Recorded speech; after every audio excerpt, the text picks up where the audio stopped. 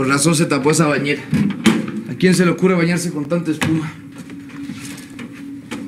Calor. Parece un sauna esto. A ver. Hasta cocodrilos debe haber aquí adentro.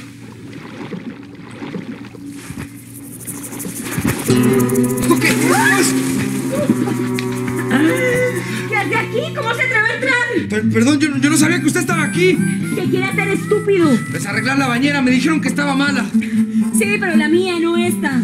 Pues Dominga me dijo que se trata del baño de Doña Norma. ¿No es esta? Pues sí, pero se equivocó. Entonces la estúpida es ella. A mí no me insulte. Yo nomás vine a hacer un favor. Aparte, ¿usted por qué no dijo nada cuando yo entré? Pues porque estaba dormida. ¿Y usted por qué me tocó? ¿Cómo le iba a ver con esa montaña de espuma? No sé ni cómo no se ahoga. Ay, ya, deja de hablar tanto y sálgase, ¿sí? Claro que me voy. ¿Cree que me causa gracia verla? Yo no soy ningún degenerado, ¿me escucha? ¿Se golpeó? ¿Está bien? Me di la madre por culpa de este piso que está todo boboso. Ah, Por la madre de la ¡Ay, ya, no me mire! Entonces no se salga de la bañera usted.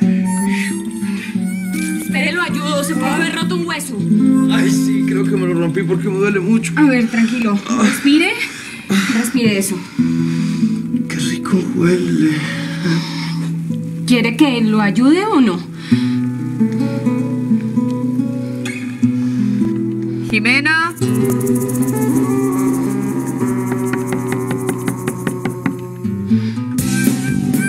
Jimena, ¿estás ahí?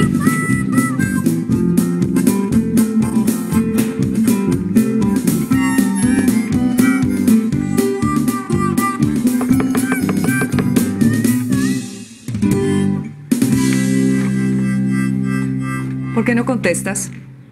No te oí, mamá. ¿Qué quieres? Antes de salir con Leandro necesito que me ayudes con unas cuentas. Por Dios, Jimena, ¿qué es este desorden? Ahora lo organizo. Pues no pienso dejarle el baño así enorme después de que me lo prestó.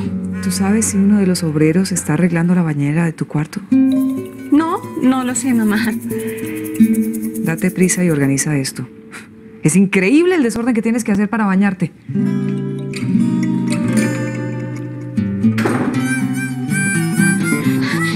Puedes salir. Lo siento, lo siento, pero, pero tenía que hacerlo. Mamá no habría aceptado ninguna explicación. Pues casi me ahogo. ¿Quién es ese hombre que me mira y me desnuda? Una fiera inquieta que me da mil vueltas y me hace temblar.